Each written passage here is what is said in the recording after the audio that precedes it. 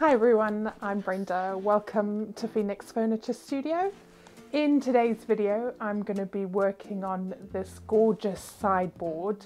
I'm going to be working on it as a commission for a client. So I'm going to be taking it from this orange sideboard into this really pretty greyish neutral coloured sideboard with the whitewashed drawer fronts and the whitewashed top as well. So if this is something that you'd like to see, then please stick around and I'll walk through all the steps of how I achieved this with her sideboard. Let's get started with the video. I love using this Bosch mini drill when I'm taking off hardware. It fits in small drawers um, and it's not too aggressive for removing the screws. It comes with a little selection of screw heads as well.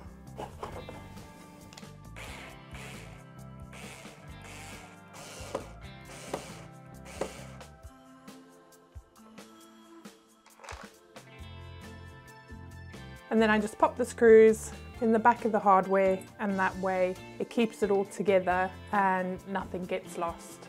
I'm gonna pop that drawer out now and I'm just gonna label it on the bottom as the right.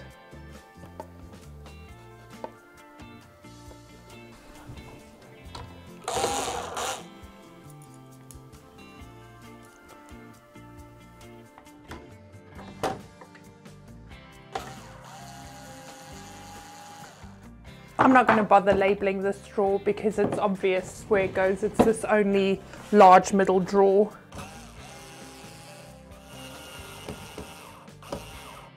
And then this one's just going to get an L for left.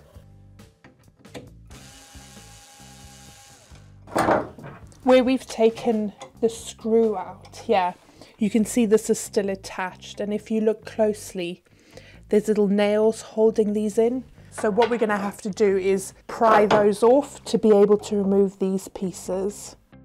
So I'm just starting with a scraper, which has got a fairly slim profile, trying to get it behind and then lever it out.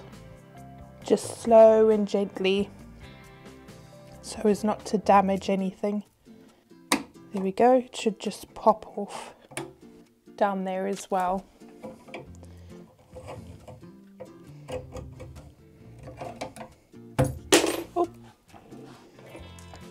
There you go, it's all removed. And as you can see, there's a bit of dust and dirt underneath there, which is why we remove it in order to clean.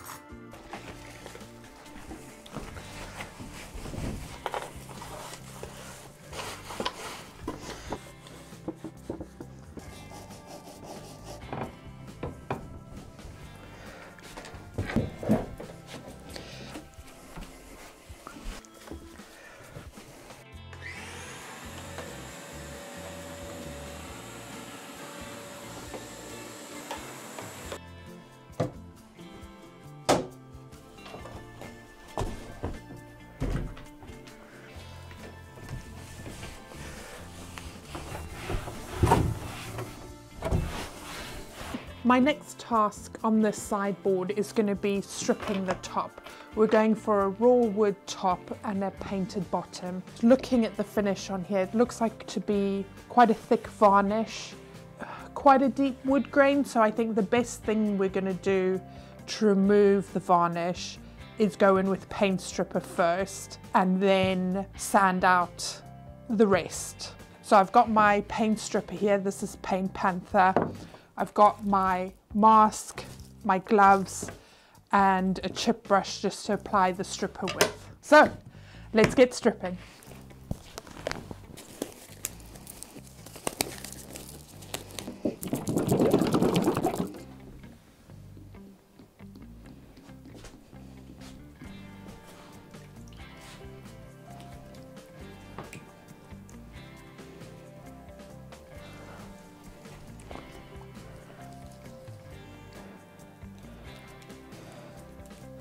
I like to agitate the stripper just before I'm going to scrape it off just to really make sure that it's pulling up all that varnish.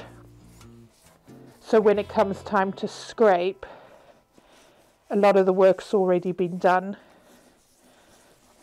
Especially when there's wood grain like on this one. Right let's get all this goop off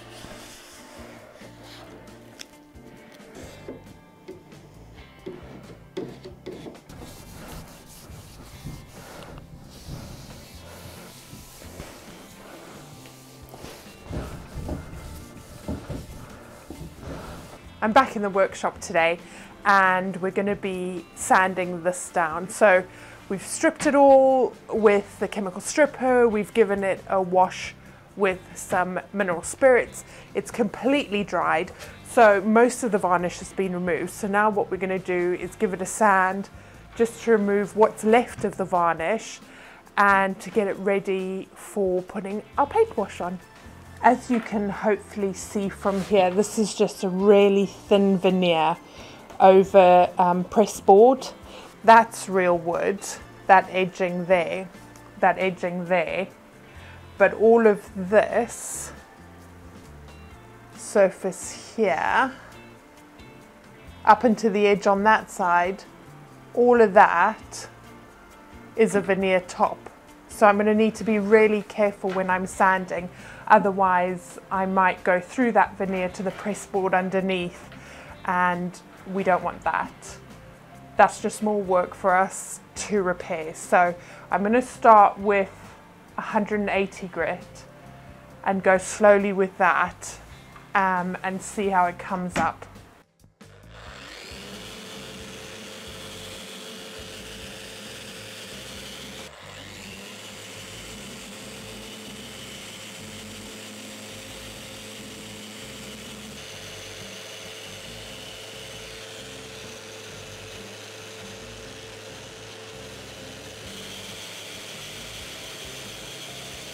That's all the sanding of the top done. So I'm just going to take this little sponge pad here, it's 120 grit, and I'm going to go over all these edges here now just to give those a sand as well.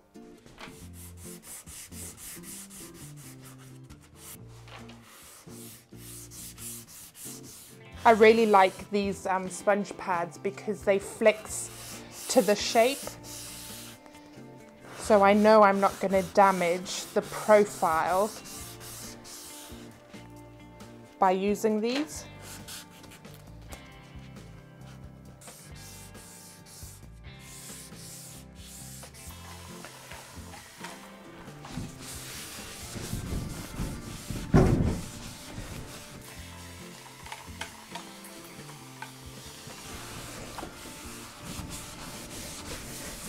Right, that's all the dust wiped off of there. So we're going to be ready to go in with our paint wash now. I've just noticed this here, which I think was there already, but I may have made it worse by sanding. So it's just a little bit where the veneer's gone through. And that's what I mean by blowing through the veneer. You go through to the press board underneath. So I'm just going to use this little furniture repair kit and I'm just going to touch that up because the paint wash is going to hide a lot of that but I want to give it an even base to match up to. Now I'm not the best at this but this is how I would do it. So I've got a yellowy tone here because obviously there's yellow tones in that wood. I've got a creamy beige colour. Again, those sort of creamy tones in the wood. And I'm going to get some of that on there. and you always want to match to the sort of wet tone of the wood because it goes a little bit darker. So I'm just going to mix up those two to get um, an in-between shade. And then I'm just going to lightly pop that over like that. So we're going to build up the layers here because you're not going to get a perfect match first time or it's highly unlikely that you'll get a perfect match first time. You, you want to try and match to all the different tones in the wood. So that will be our starting point. And then a little bit more of that creamy colour, I think. There we go. So I think that's quite a good starting base. The good thing about using this bristly brush is it gives it a bit of texture, a bit like wood grain.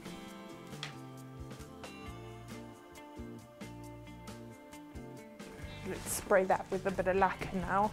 So this is just a bit of varnish, which I'm going to spray over that first coat. And leave that to dry a bit. Okay, I'm going to pop the next layer on now, which is going to be with a little bit of this orangey colour. Only because when you wet this down, it's got this sort of orangey tone to it. So I'm going to go with the yellow. Just mix that till I'm happy with it. More yellow, I think. Yeah.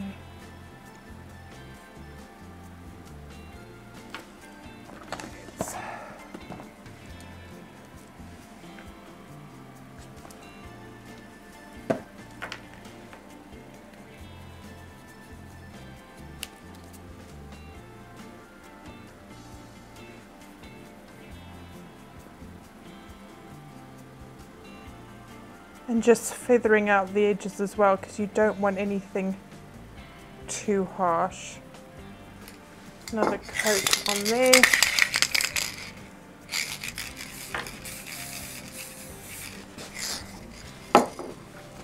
The final step is going to be just to add some of that wood grain pattern back in. So I'm going to go with a, a darker colour for that. Yeah, that is quite dark, so I'm gonna get some of that on there. That is black, so very dark. Here's a nice dark brown. That might be slightly better. So, same brush, just dip, dip, dip, dip, dip, little tiny bit of black. And I'm just ever so slightly Gonna feather that in.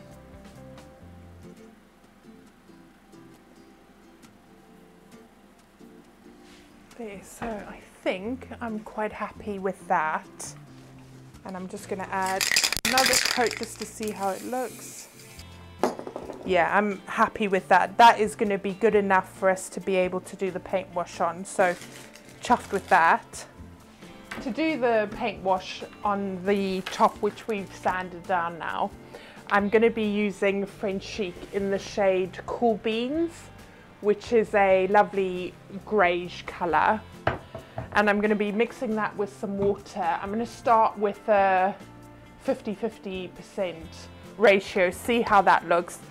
We're going to just use a brush. This is just a, a lick two inch brush and we're going to apply it on the surface and wipe it back pretty much straight away so that it doesn't um, absorb too much. And then depending on how that looks, then we'll just add layers as we go. Rather add thin layers and and do multiple layers to get the look that you want, then go in too heavy first time and have to sand it back again. So let's get mixing and paint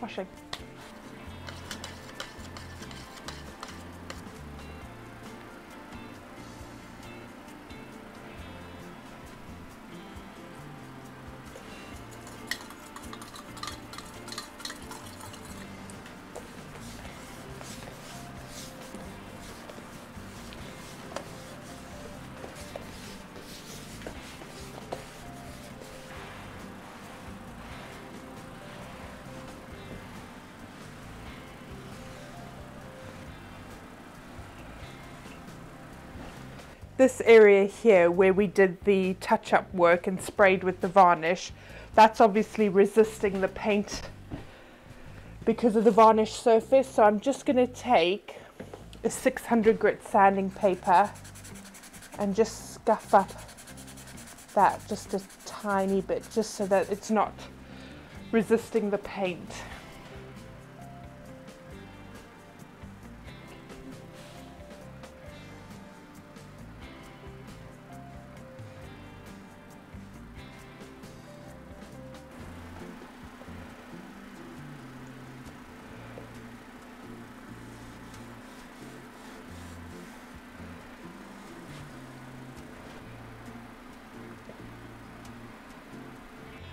First layer seem to dry quite quickly. So I've only just finished wiping that first one off and I'm going to go in with my second coat already.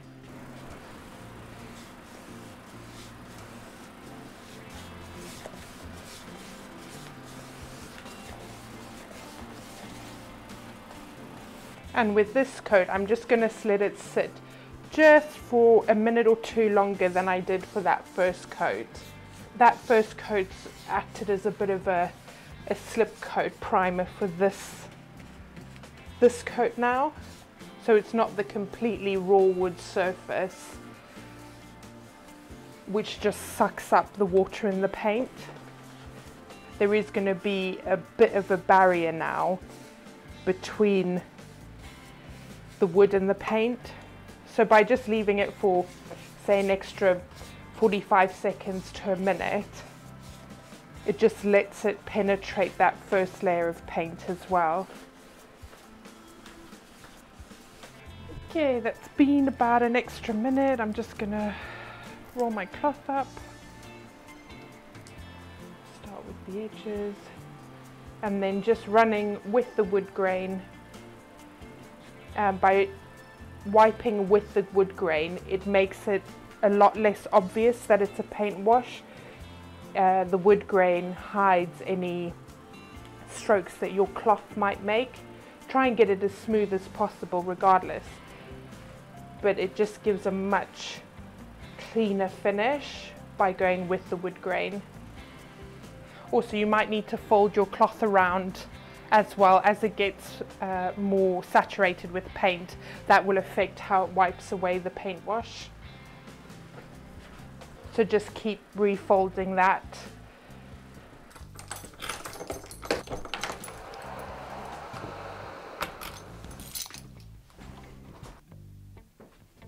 Good morning. It is Saturday and I'm back in the workshop so that I can work on this again. What I'm going to be doing today is stripping those drawers there, just the top drawers that you can see, and whitewashing those as well. My client wants to see how they look whitewashed with the rest of the dresser painted before deciding if she wants to paint those top drawers. So that's the plan for this morning. Let's get going.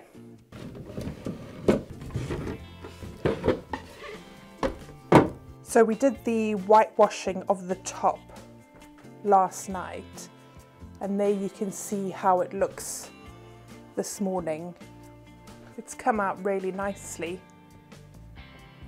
There's just this little spot here that I need to do some work on just to blend it in a bit better but overall really happy with how that's looking.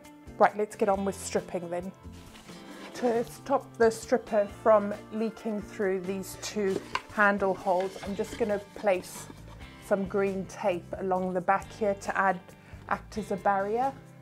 And I'm going to do that to all the drawers.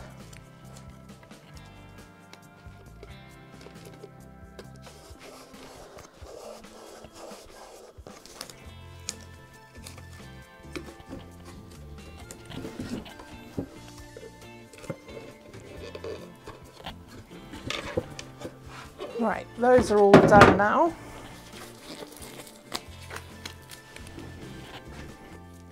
Don't want, really want stripper collecting in these either. So, let me have a look. Mm, too small and too big. Um, oh well, I'm just gonna have to clean it out.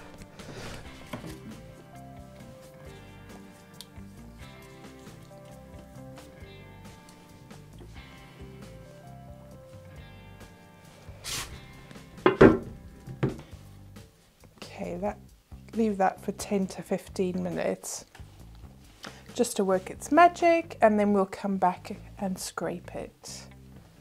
You can see where it's already starting to get a little bit gelatinous is where it's pulling the varnish off.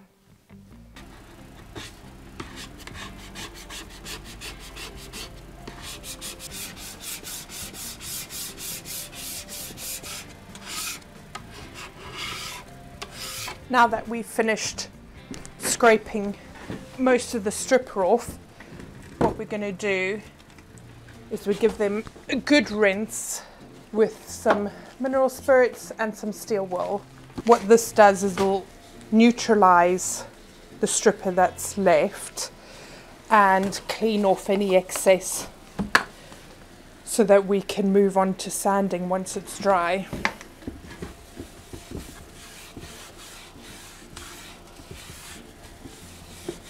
with the 4 aught or 40 fine steel wool, it's great at removing whatever varnish is left, but not scratching because it's not too abrasive.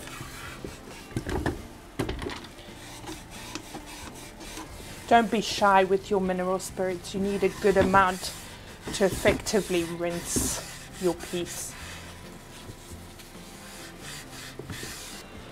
So we're going to let those drawers dry fully now and then move on to sanding. And I am just going to clean up.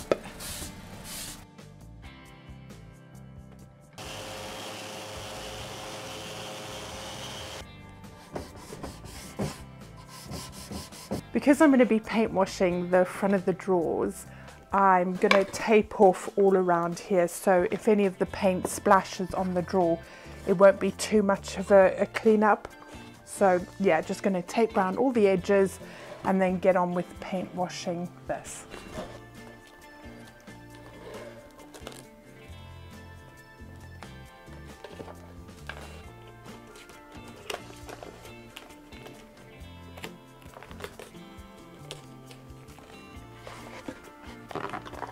All taped up.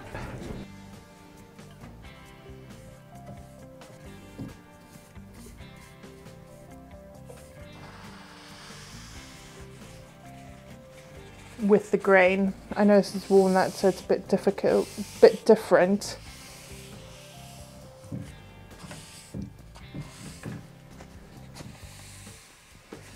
There we go. I'm happy with that as coat one. Um, I'll need to go over that with another coat though.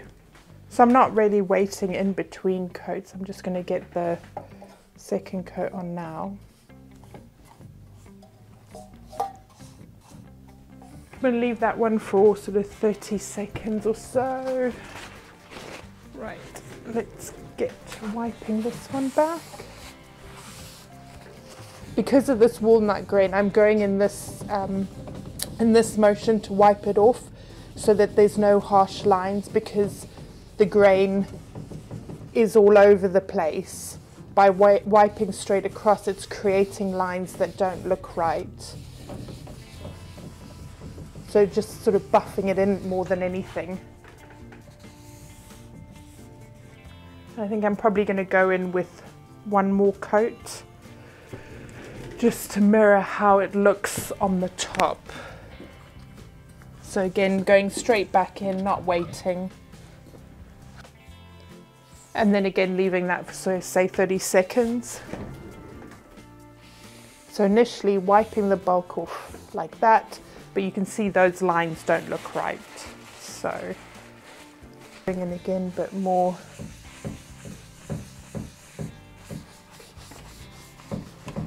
of that motion. There we go. I like how that looks now. So I'm going to leave that to dry.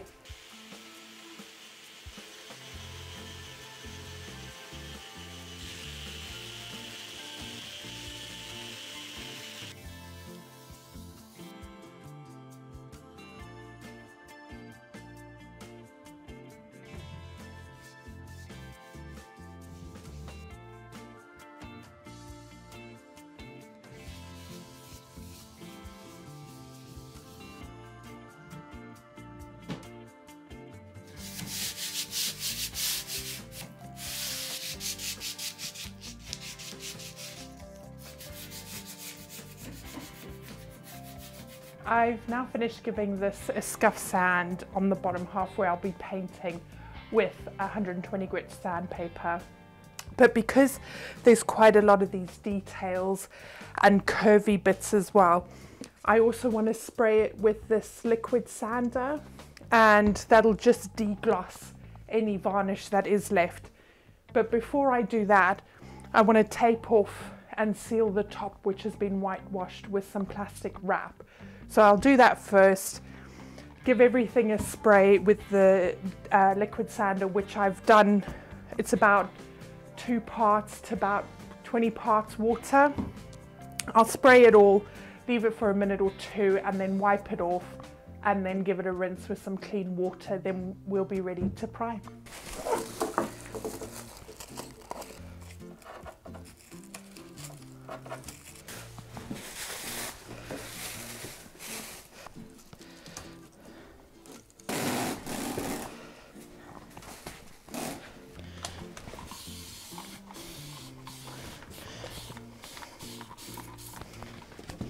This is just clean uh, warm water which I'm going to rinse the piece down with now and get all the liquid sander off. Let that fully dry and then we'll be ready to prime.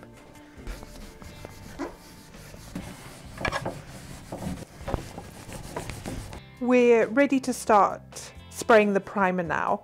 In preparation, I've taped off the insides of the drawers there because it goes straight into the cupboard down below. So if I was to leave those open, the overspray would go into the cupboards. And I've also taped up all the hinges so that they don't get paint on them. A good idea for these is whenever I decoupage a piece of furniture and I have scraps, I keep a hold of the scraps because one of these is bound to be the right size for a drawer and you can use that to seal off a drawer like that and it just reduces the amount of paper you're wasting and prevents you from using sort of plastic for those sorts of things. So just a tip in case you use wallpaper to decoupage your furniture, keep a hold of your scraps. I'm going to wheel that into there now and get priming.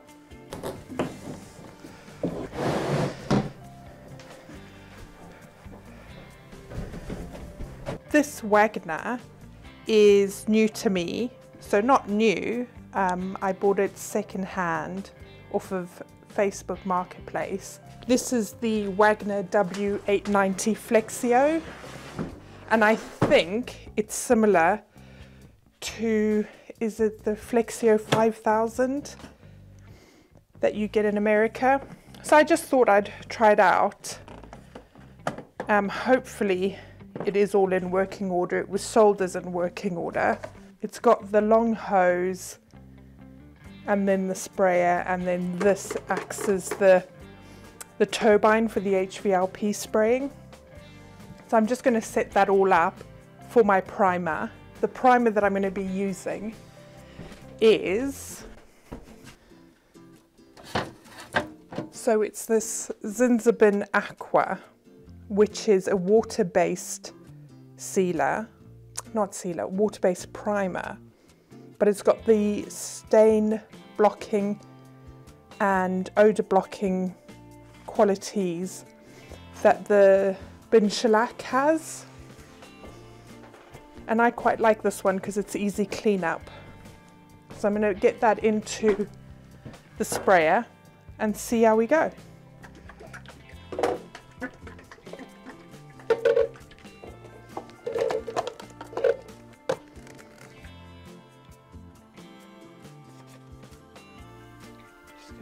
Little bit of water in there and then see what sort of consistency that comes out as. I'm really happy with that consistency. It's like a single cream, not too runny and not too gloopy. When it hits the paint in the pot, it doesn't collect on the surface, it just goes into the paint straight away. If you had like little worm trails collecting on the top, you'd need to water it down a bit more. So I'm happy with that to start spraying.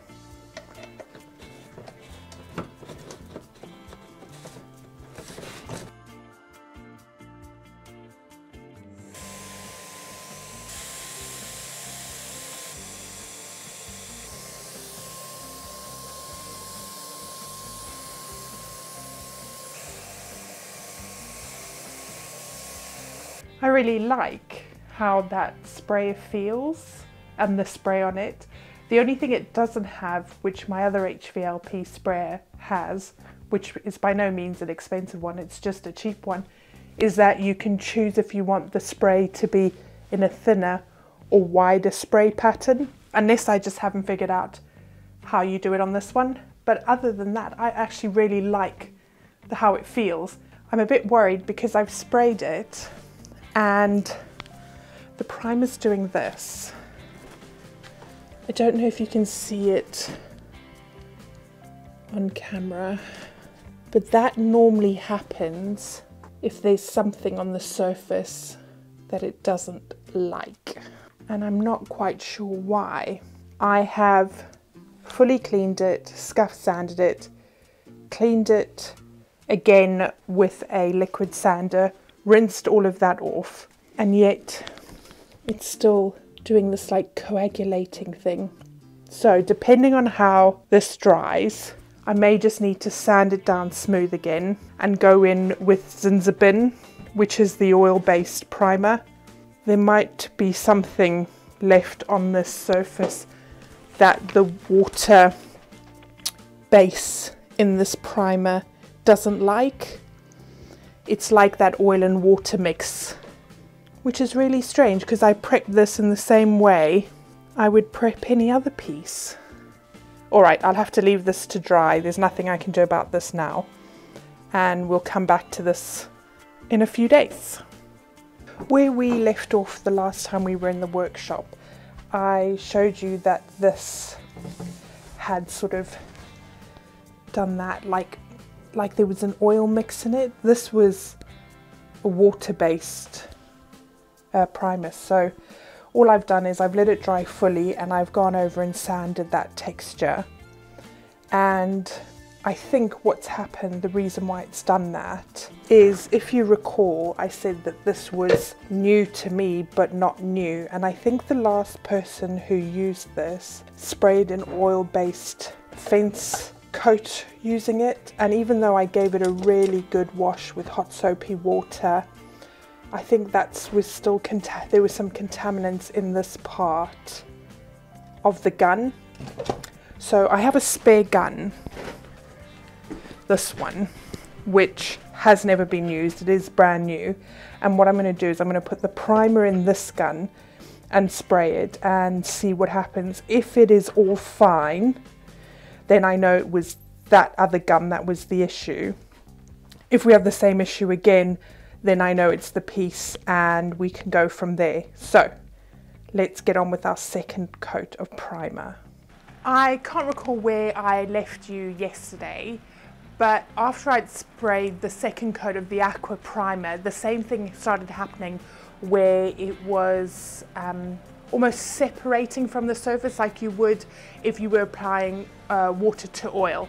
So I rubbed off the little bit that I'd done as a tester and then I use Zinsser Cover Stain, which is this one. And that's oil based and that's like my fail-safe primer. I will use that whenever I've got a tricky surface that needs adhesion or stain blocking or any anything like that. This this is my go-to product. So I applied two coats of that yesterday and lightly sanded in between. I've given it another sand now so that it's smooth. Given it a wipe down with a damp cloth. So it's all ready and prepped and I'm going to start spraying my paint. I'm going to be using Frenchic in the shade Cool Beans. It's a lovely like neutral greyish colour. So I'm going to pop that in my Wagner paint sprayer and I'm going to spray it and fingers crossed it goes on as it should. As I say, that primer is my fail-safe, end of the world primer. Let's load up the spray gun and fingers crossed it all goes smoothly.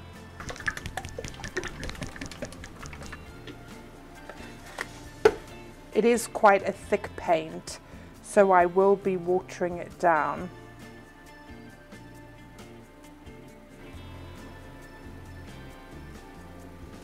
I just kind of eyeball the consistency and add water if I need it or add paint if I need it but bearing in mind it's always easier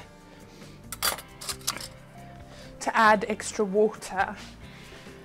Not so easy to take water away so if you're not sure rather add too little to start with and then add more especially if you're on your last bit of paint and you've got no more paint to thicken it up with. I like it to be the consistency of single cream so not too runny but still loose at the same time. There we go.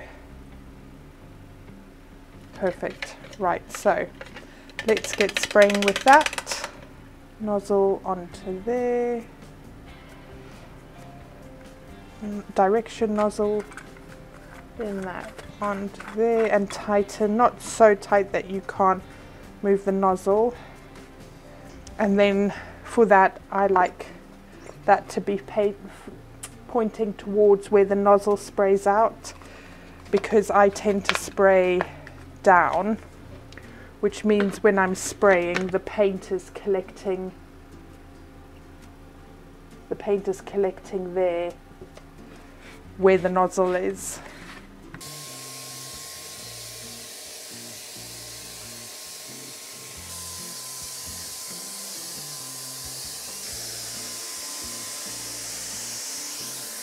This has had two coats of matte varnish now and it looks gorgeous. So to finish off the drawers, I'm going to remove each one. I'm going to touch up the sides with some of this zesty lemon balm, which smells amazing. That's what it looks like. And the darker wood on the inside I'm just going to go over with a little bit of Restor-A-Finish just to get it looking tip top and then attach the handles and that'll be the drawers done.